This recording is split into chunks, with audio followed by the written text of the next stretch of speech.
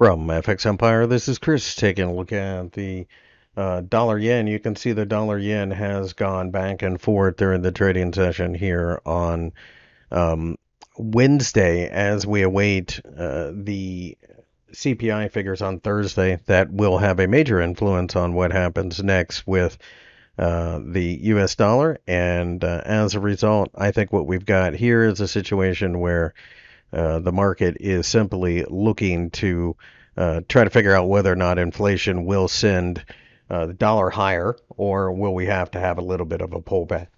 I think at this point in time, pullbacks are going to be thought of as buying opportunities.